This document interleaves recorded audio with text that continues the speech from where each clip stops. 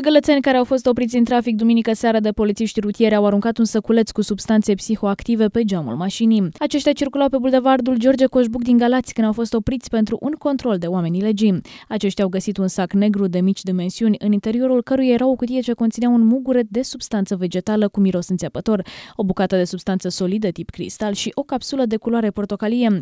Polițiștii au găsit și o borsetă în interiorul căreia se aflau mai multe sume mari de bani. Șoferul a fost testat pentru consumul de alcool și pentru consumul de substanțe interzise, rezultatul fiind negativ în prima instanță. Însă, în urma testării cu aparatul din dotare, au reieșit indicii cu privire la consumul de droguri. Bărbatul a fost condus la o unitate medicală pentru recoltarea de probe biologice în vederea stabilirii cu exactitatea consumului unor substanțe interzise. Polițiștii au întocmit un dosar penal pentru infracțiunea de conducere a unui vehicul sub influența alcoolului sau altor substanțe.